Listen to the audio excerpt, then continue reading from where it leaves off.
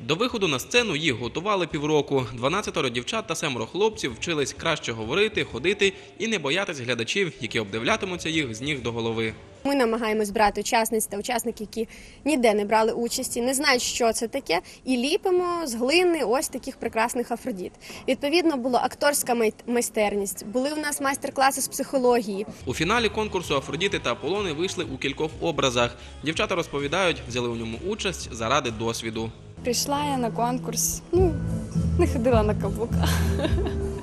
Я навчилася ходити на каблуках так. Я взагалі якби просто стала, можливо, жіночнішою, дорослішою, розцвіла.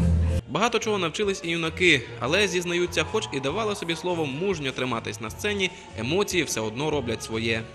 Перший тиждень якось е, ну я не звертав на це уваги, так якось все мімольотно йшло. От а от вже під кінець вже були хвилювання якісь. Сьогодні це просто щось неймовірне. Я перший раз на такій великій сцені, тому от в мене такі хвилювання. Я привик бути на спортивному майданчику, а для мене це вперше, тобто для мене це щось нове. У підсумку корону Афродіти приміряла 16-річна студентка Рівненського медколеджу Юлія Шнерук, а титул Аполлона завоював 22-річний працівник будівельної фірми Іван Овдійчук.